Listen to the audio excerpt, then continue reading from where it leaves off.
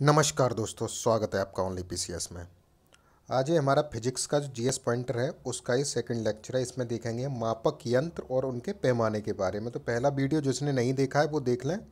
ये बहुत ही इंपॉर्टेंट सिद्ध होगा आपके एग्ज़ाम के लिए, जो यूपी पीसीएस होने जा रहा है और बिहार के लिए। तो बहुत फास्ट तरीके से आप पूरा अगर घटना चक्र वगैरह, पुराने क्वेश्चन का रिविज़न करना चाहते हैं तो ये उसमें वन लाइनर के लिए बहुत अच्छा सिद्ध होगा, ठीक है ना?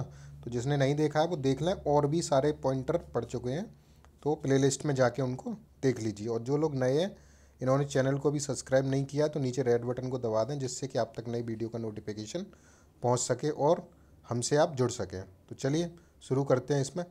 पहला क्वेश्चन है, महासागर में डूबी हुई वस्तुओं की स्थिति जानने के लिए किसका प्रयोग किया जाता है? तो सोनार तकनीक का प्रयोग किया जाता है। सोनार प्रयोग किसमें किसके लिए लाया जाता है? नौ संचालनों के द्वारा ये इसका प्रयोग किया जाता है। सोनार में हम उपयोग करते हैं किस, कौन सी तरंगों का? तो पराश्रव्य तरंगों का उपयोग किया जाता है सोनार तकनीक में। ध्वनि की तीव्रता को किसमें मापा जाता है? तो ऑडियो मीटर में मापा जाता है और एनिमोमीटर से क्या मापा जाता है? तो पवन का वेग मापा जाता है एनिमोमीटर से। अब इनमें से पूछा है कि वायु की गति को किसमें से मापा जाता है? तो ऊपर बात कर लिए एनिमोमीटर से वायु की गति मापी जाती है। एम मीटर से क्या मापा जाता है? विद्युत धारा और टेक्योमीटर, क्षैतिज दूरियों, लंबवत उन्नयनों एवं दिशाओं का मापन टेक्योमीटर से किया जाता है। पायरोमीटर किसके लिए यूज़ होता है? तो पायरोमीटर में जो उच्च ताप वाले जो मापन किए जाते हैं पायरोमीटर के द्वारा, ठीक है ना?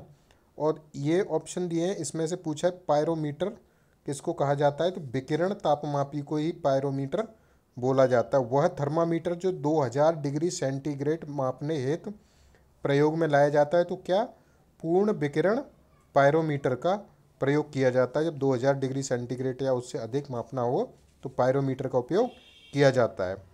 पायर हिलियोमीटर का प्रयोग किसमें किया जाता है? तो सोलर रेडिएशन को मापने के लिए किसका किया जाता है? पायर हिलियो मीटर का उपयोग। तो ये याद रखिएगा, सारे पूछे हुए क्वेश्चन है रिपीटेड हैं, बहुत बार एग्ज़ाम में यहीं से अक्सर फिजिक्स केमिस्ट्री और बायो यहीं से रिपीट होते हैं सारे क्वेश्चन अगला क्वेश्चन है, मैनोमीटर के द्वारा क्या मापा जाता है? तो गैसों के दाब की माप मैनोमीटर के द्वारा की जाती है। हाइग्रोमीटर सापेक्ष आर्द्रता को मापता है वायु में, स्प्रिंग तुला भार को मापता है और ओडोमीटर किसको मापता है? वाहनों के पहियों द्वारा तय की गई दूरी मापने का यंत्र है ओडोमीटर ऑन्डोमीटर विद्युत चुंबकीय तरंगों की आवृत्ति मापने के लिए यूज़ होता है और ऑडियोमीटर ध्वनि की तीव्रता मापने की इकाई है ये। वायुमंडलीय दाब का दाब किसमें मापा जाता है? तो बैरोमीटर में। ठीक है ना? साधारणतः बैरोमीटर का प्रयोग बैरोमीटर में किसका प्रयोग किया जाता है? तो पारे का उपयोग किया जाता है। दूध का आपेक्षिक घनत्व कितना, किसमें मापा जाता है? तो लैक्टो मीटर में दूध का आपेक्षिक घनत्व मापा जाता है। थर्मो रेसिस्टर एक उपकरण है जो क्या कार्य करता है? इलेक्ट्रॉनिक थर्मामीटर की भांति कार्य करता है ये आपका थर्मो रेसिस्टर। आगे देखते हैं। इसमें आपको सुमेलित करना है। स्टेथो इसको किसके लिए? हृदय की ध्वनि सुनने के लिए उपयोग किया जाता है। इस फिग्नोमैनोमीटर का उपयोग रक्तचाप मापने के लिए किया जाता है और कैरेटोमीटर का प्रयोग सोने की शुद्धता का पता लगाने के लिए किया जाता है, जबकि लक्स मीटर का प्रयोग प्रकाश की तीव्रता मापने के लिए किया जाता है। रक्त दाब नापने के लिए कौन सा यंत्र है? तो स्फेग्नो मैनोमीटर रडार उपयोग में आता है किस लिए? कि रेडियो तरंगों द्वारा वस्तुओं की स्थिति ज्ञात करने में रडार का उपयोग किया जाता है। अब इसमें से पूछा है कि तापमान में इनके अंदर रिएक्टर पैमाने पर क्या मापा जाता है? तो भूकंप की तीव्रता रिएक्टर पैमाने पर मापी जाती है। ये भी, या भूकंपीय लहरों का आयाम रिएक्टर पैमानों पर मापा जाता है। सेल्सियस से जानते हैं, तापमा, ताप की इकाई है और किलोवाट आवर विद्युत की है और जबकि आर एच फैक्टर रक्त से संबंधित है और रिएक्टर पैमाना भूकंप से। भूकंप मापी यंत्र कौन सा है? सिस्मो ग्राफ या रिएक्टर पैमाना याद रखिएगा। सिस्मोग्राफ में रिकॉर्ड किया जाता है भूचाल इत्यादि को और भूकंप सिस्मोग्राफ से संबंधित ऊंचाई अल्टीमीटर से प्रतिरोध ओम से संबंधित है, ठीक है ना? रेजिस्टेंस जो होती है वो ओम में मापी जाती है। आगे देखते हैं, फैदोमीटर समुद्र की गहराई से संबंधित है, बैरोमीटर वायुमंडलीय दाब से, जबकि अल्टीमीटर ऊंचाई से संबंधित है। फैदोमीटर का उपयोग समुद्र की गहराई के लिए, बात ऊपर हो गई। सिस्मोग्राफ का उपयोग होता है भूकंप के लिए। बैरो, बैरोग्राफ का वायुमंडलीय दाब के लिए। आगे देखते हैं ऊपर। तो ये ऊपर है मैनोमीटर। ये मैनोमीटर दाब के लिए उपयोग होता है और कार्बोरेटर का प्रयोग किस लिए होता है? जो आंतरिक दहन इंजन के लिए कार्बोरेटर का उपयोग किया जाता है। जबकि कार्डियोग्राम कार्डियोग्राम का उपयोग क्या होता है? हृदय गति को मापने के लिए। जबकि सिस्मोमीटर में क्या होता है? भूकंप तरंगों की तीव्रता सिस्मोमीटर में मापी जाती है। और फोनोमीटर इसका उपयोग किस लिए होता है? तो ध्वनि की तीव्रता एवं स्पंदन आवृत्ति के मापन में इसका उपयोग किया जाता है। और झूठ का पता लगाने वाला यंत्र कौन सा होता है? तो उसे पोलीग्राफ बोला जाता है। चलिए कुछ और लिस्ट देख लेते हैं। ये टॉपिक तो हो गया। कुछ और लिस्ट देखते हैं जिससे कि आप आप उसका भी रिवीजन कर सकें। ठीक है ना? देखिए, ये कुछ उपकरण हैं। इनका उपयोग किया जाता है। बहुत ही इंपॉर्टेंट है। यही रिपीट होते रहते हैं। तो आप इनको अच्छे से देख लीजिएगा। एक बार मैं जल्दी से आपको रिवीजन करा देता हूँ। बहुत सारे हैं। तो ये इम्पोर्टेंट इम्पोर्टेंट है। अल्टीमीटर का ऊंचाई मापने के लिए बता दिया एम मीटर का विद्युत धारा मापने के लिए। एनेमोमीटर का वायु वेग मापने के लिए किया जाता है, जबकि एंटीनोमीटर का उपयोग सौर विकिरण मापने के लिए किया जाता है। और एटमोमीटर का उपयोग बाष्पीकरण मापक यंत्र है। ये ऑडियोमीटर बता दिया, ध्वनि की तीव्रता बैरोग्राफ वायुमंडलीय दाब का निरंतर मापन किया जाता है। और बैरोग्राफ और बैरो बैरोमीटर में वायुमंडलीय, ये दाब मापी यंत्र है और ये बैरोग्राफी इसी से संबंधित है, बस ये निरंतर मापने के लिए उपयोग किया जाता है बैरोग्राफ। और कैलीपर्स किस लिए उपयोग किया जाता है? तो कैलीपर्स का उपयोग होता है वस्तुओं के आंतरिक एवं बाह्य व्यास को मापने के लिए इसका उपयोग किया जाता है। और बोलोमीटर का उपयोग किस लिए होता है? तो ऊष्मीय या विद्युत चुंबकीय विकिरण संसूचक यंत्र है और कैलोरोमीटर तो पदार्थ द्वारा अवशोषित या मुक्त की गई ऊष्मा की मात्रा इसमें मापी जाती है कैलोरीमीटर में। तो कैलोरी से समझ आ रहा होगा, कैलोरी ऊर्जा से संबंधित है। तो कार्डियोग्राफ किस लिए? हृदय की गति को रिकॉर्ड करने के लिए कार्डियोग्राफ का उपयोग किया जाता है। कुछ और देखते हैं। चलिए, क्रोनोमीटर, समय का पूर्ण परिशुद्धता के साथ मापन करने वाली घड़ी होती है, जिसका प्रयोग किसके द्वारा किया जाता है? तो नाविकों द्वारा समुद्र में किया जाता है क्रोनोमीटर का, जबकि कोलोरो, कोलोरीमीटर इसमें रंगों की तीव्रता के मापने के द्वारा पदार्थ की सांद्रता का पता लगाने में इसका प्रयोग किया जाता है। और कैथेटोमीटर ऊर्ध्वर ऊर्ध्वाधर दूरी या ऊंचाई मापने के लिए और क्रायोमीटर एक प्रकार का थर्मामीटर होता है, जिसका प्रयोग अति निम्न ताप मापने के लिए किया जाता है। याद रखिएगा, क्रायोमीटर का प्रयोग अति निम्न ताप मापने के लिए किया जाता है। ठीक है ना? और साइक्लो साइक्लोट्रॉन एक प्रकार का कण त्वरक होता है जो आवेशित कणों की गति को मापता है। आगे देखते हैं। देखिए क्रेस्कोग्राफ है, ये पौधों की वृद्धि को मापने वाला उपकरण है, बहुत इंपॉर्टेंट है, याद रखिएगा। क्रेस्कोग्राफ में पौधों की वृद्धि को मापा जाता है और डिलेटोमीटर में पदार्थों के आयतन में होने वाले परिवर्तन को मापना, मापा जाता है डिलेटोमीटर में। और ये है डिप सर्किल इस यंत्र की मदद से किसी स्थान के जो नति कोण होता है, डिप एंगल को मापा जाता है, जबकि डायनमोमीटर यांत्रिक ऊर्जा को विद्युत ऊर्जा में परिवर्तित करने वाला यंत्र है। तो ये डायनमो है और ये डायनमोमीटर है तो ये बल, बलागूढ़ या शक्ति मापने के लिए डायनमोमीटर का उपयोग किया जाता है और ये डायनमो का बता दिए यांत्रिक ऊर्जा को विद्युत ऊर्जा में बदलता है। ईईजी ईईजी का उपयोग किस लिए किया जाता है? तो मस्तिष्क की विद्युतीय गतिविधि को मापने वाला यंत्र है बहुत बार क्वेश्चन पूछा गया है और आगे भी पूछा जाता रहेगा इससे।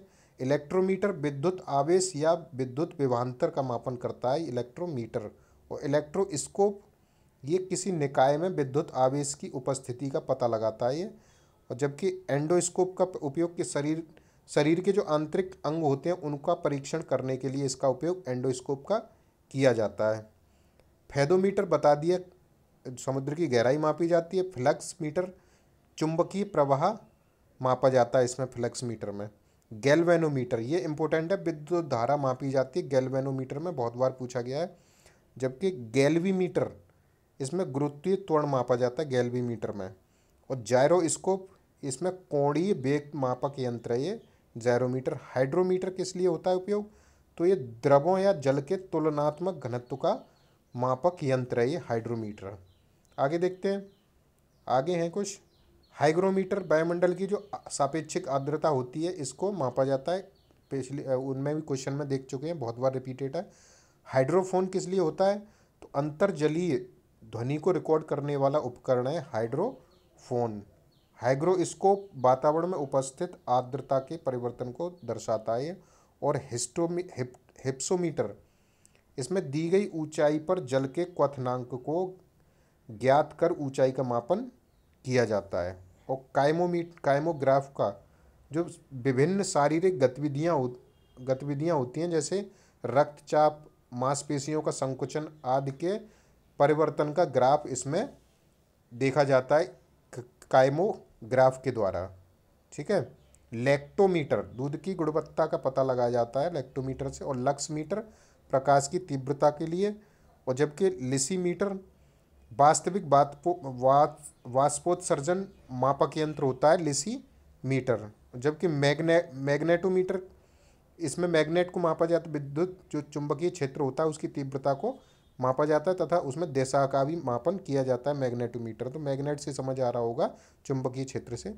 और जबकि मैनोमीटर, इसमें द्रवों या गैसों के दाब का मापन किया जाता है। माइक्रोफोन का उपयोग, सब जानते हैं कि यह ध्वनि तरंग, ध्वनि तरंगों को विद्युत स्पंदनों में परिवर्तित करता है माइक्रोफोन।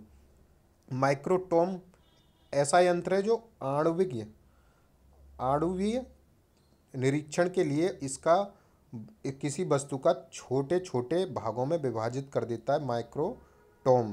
खास इंपोर्टेंट नहीं है, ओडोमीटर किसी वाहन द्वारा तय की गई दूरी का मापन करने वाला यंत्र है, ओडोमीटर। ये इम्पोर्टेंट है। पेरिस्कोप तो ये पे ओट या आवरण में रहते हुए जो प्रेक्षक को अपने आसपास की वस्तुओं को देखने में समर्थ बनाने वाला ये क्या है? उपकरण है। ऑप्टिकल यंत्र की तरह ये कार्य करता है। और इसके बारे में देख लीजिएगा। फोनोग्राफ ध्वनि की यांत्रिक रिकॉर्डिंग करता है एवं उनका पुनरुत्पादन करता है। रीजनरेशन उनका करता है ये आपका फोनोग्राफ। आगे देखते हैं। और कुछ ये इम्पोर्टेंट है। इससे बाहर आपको नहीं मिलेगा क्योंकि ये आपको बायोलॉजी में भी सब पढ़ने पड़ेंगे और इसमें भी इसलिए मैंने एक जगह इसको, इसी वीडियो के साथ जोड़ दिया है।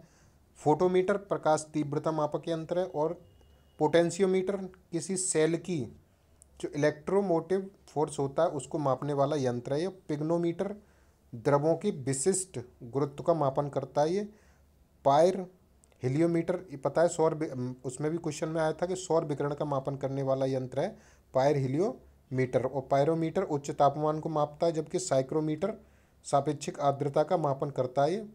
और रेन गेज, बर्षण इत्यादि की मापन इसमें रेन गेज में किया जाता है, सॉरी। और नेक्स्ट है, रेडियोमीटर में विकिरण द्वारा प्राप्त ऊर्जा को मापा जाता है। रेफ्रैक्टोमीटर, रिफ्रैक्टोमीटर में अपवर्तनांक का मापन करता है ये, रिफ्रैक्टोमीटर। तो ये खास नहीं है। और सेलिनोमीटर, किसी बिलियन की लवणता का मापन किया जाता है सेलिनोमीटर में। जबकि सोलरीमीटर, ये सौर विकिरण की तीव्रता को ये भी मापता है और सेक्रीमीटर किसी शर्करा युक्त बिलियन की सांद्रता को मापा जाता है सेक्रीमीटर से। सेक्सटेंट, ये दो वस्तुओं के बीच कोणीय दूरी का मापन करता है सेक्सटेंट। आगे देखते हैं स्पिग्नोमैनोमीटर के लिए रक्तचाप मापा जाता है इसमें। पहले बात हो चुकी है, स्टेथोस्कोप, हृदय की गति सुनने के लिए प्रयोग होता है। स्पीडोमीटर किसी वाहन की गति प्रदर्शित करने वाला यंत्र है ये।